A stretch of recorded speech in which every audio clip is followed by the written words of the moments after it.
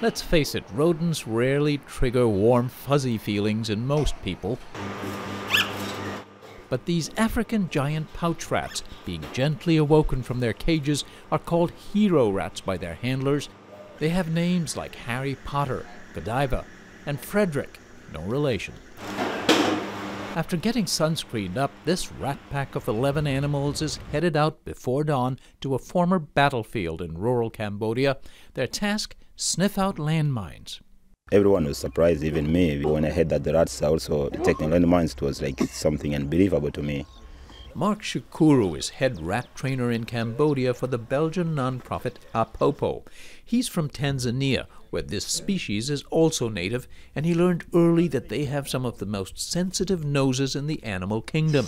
Each comes out of a rigorous program in Tanzania that trains them to distinguish explosives from other scents.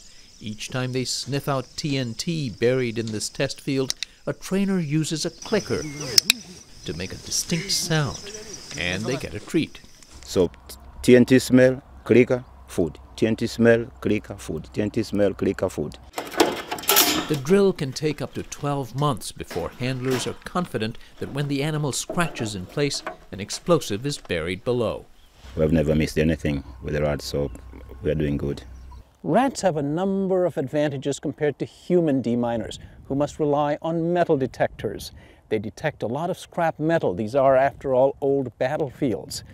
They litter, but they don't always contain explosives, whereas these guys are trained to sniff out TNT, which is the explosive in most mines. Since 2016, Apopo's hero rats have found roughly 500 anti personnel mines and more than 350 unexploded bombs in Cambodia. They are the second animal to be deployed in mine clearance. Dogs were first.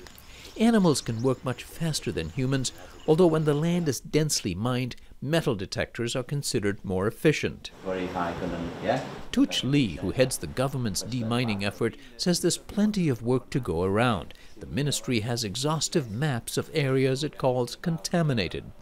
We come out with the numbers that there are around 4 to 6 million uh, anti-personnel landmines in this country. So we, we still have a long way to go. That translates to a lot of contaminated land in this largely rural agrarian country, an economic and existential threat. We have uh, more than 26,000 people uh, killed and injured over the years. 30% of them are women and children. It is the legacy of three decades of conflict that ended in the late 90s. In Cambodia's west, landmines were buried by the genocidal Khmer Rouge regime and by the Vietnamese army that drove them from power, alongside the new Cambodian army. In the east, near Vietnam, lie millions of tons of unexploded American bombs dropped during the war. We hold like this, be careful, don't press on top here. This may be the only country with a landmine museum. It was started by Aki Ra, who was conscripted as a child to fight for the Khmer Rouge. We cut the wire. He laid mines himself and has spent much of his adult life trying to remove them. He disarmed many of the devices on display here and says his goal is to raise awareness of what mines can do. The children during my time all went through it, but it seems like the young, the children growing up during this generation, are not aware of the danger or the casualties of landmines that still occur today in Cambodia. Tens of thousands of Cambodians live in close proximity to the dormant killers. This school was just steps from the minefield we visited with the Apopo rats. People are forced to enter these contaminated areas quite simply because they don't have a choice because their livelihoods depend on it. Rebecca Letvin works for the British Mines Advisory Group, one of several aid agencies working in Cambodia. And this one is the mine that we found and destroyed. 27 years into the collective effort, they've freed up some 18,000 acres. That's less than a tenth of the terrain considered contaminated. It's important that we don't forget um, what happened here in Cambodia and we don't forget that the country itself is still very heavily contaminated. This year's toll so far 11 killed and 51 injured. At this regional prosthesis hospital, a steady stream of victims arrives each day to be fitted or refitted with artificial limbs. The old one was getting really tight, especially around my thigh. 39 year old Sna Him stepped on a landmine in 2002. Like many patients here, he's a small farmer, growing rubber and cashew nuts with his wife and three children. I'm always very careful when I walk in the fields because I am worried that it could happen to my other leg. I feel very upset that I lost part of my body because it prevents me from doing other activities that normal people are able to do.